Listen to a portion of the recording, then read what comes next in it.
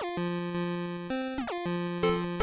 Hey guys, what's up? It's Matt with Eight-Six, and today I'm taking a look at a chiclet keyboard, but let's jump into it. I've not looked at a chiclet keyboard in quite a while. This one is actually a combo that comes with a mouse that's really a little more than a stylish side piece. But if you don't already have a mouse, it's a nice added bonus, albeit a simple 1600 DPI office mouse with matching flair. Not everyone loves mechanical keyboards. I try to keep that in mind, but often fail to look at more of these. Chiclet keyboards are membrane, low-profile, quiet keyboards that are preferred by some for a multitude of reasons. They have a very generic laptop keyboard feel if you've ever used a laptop keyboard.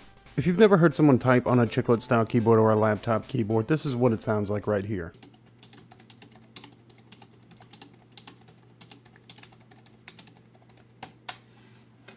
This one is the AX227 combo by Sablute. I think that's how you say their name. I'm not entirely sure, but I'm going with Sablute. The keyboard is the KG660, and it comes with an adapter for USB-C and a bonus mouse. This keyboard offers a very silent typing experience with satisfying depression to actuation bounce back on the scissor design membrane mechanism. It helps make the low profile keys feel stable and offers definite tactile response on use. The keyboard does have a limited amount of RGB modes as well as seven solid offerings and on and off. If you prefer the lights not to be on, you can turn them off pretty easily. Using function and arrow up or down, you can flip through the brightness modes. There's only three brightness modes and they're all pretty relatively close together as far as brightness goes. On the top right are the M1s, 2, and 3. These allow you to swap between a rainbow wave, the solid color offerings, which are red, yellow, green, cyan, blue, pink, and white, and finally M3, which is a reactive wave on typing. So when you type a wave of a random color it picks will slide through. Next to the M1 on the left side is the quick LED off or on button if you wanted to turn those lights off or on.